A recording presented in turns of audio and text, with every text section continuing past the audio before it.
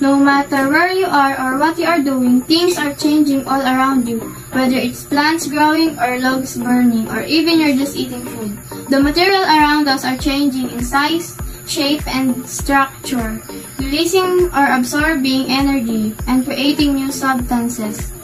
In chemistry, most change are divided in two categories, physical changes and chemical changes. My name is Carla Jurisa O. de la Cruz and this is my performance task in science.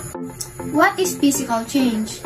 It is something that changes the physical properties of a substance like size, shape, or form. Cutting a piece of cloth is an example of physical change, even though the cloth change its shape and size. When it is cut, it does not create a new substance. It's still cloth.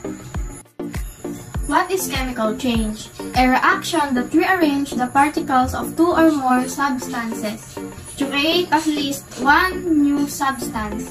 Digesting food is example of chemical changes.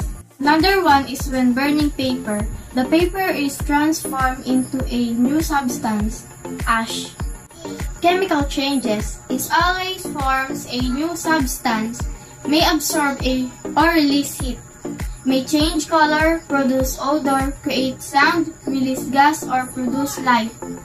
Physical changes do not form a new substance, may change shape and size, may change state of matter, can often be undone. I hope you enjoy learning about physical and chemical change.